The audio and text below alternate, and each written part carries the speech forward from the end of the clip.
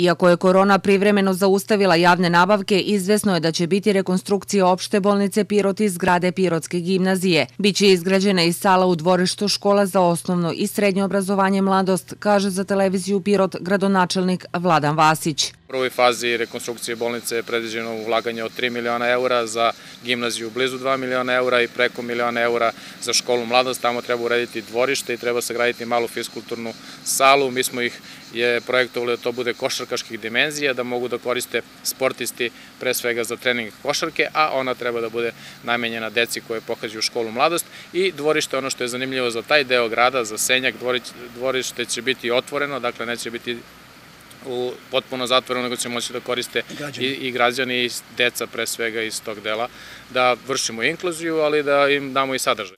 Projektna dokumentacija je završena i očekuje se da se raspišu javne nabavke i krene sa realizacijom ovih važnih infrastrukturnih projekata u Pirotu.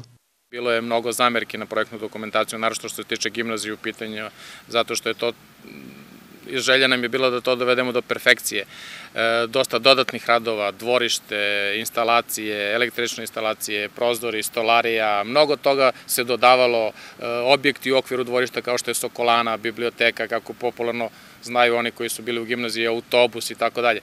Dakle, sve smo to dodali, narošto dvorište i kad smo bili na pragu da raspišemo javne nabavke i za bolnicu, i za gimnaziju, i za školu mladost, došla je vanredna situacija, ljudi iz kancelarije za javno ulaganja su rekli stajemo za sada, zastajemo, ja bih ja, bih, ja se nadam da je, da je zastajemo, a ne stajemo sa projektima, da vidimo kako će se to odraziti na budžet Republike Srbije, na opštu situaciju u zemlji.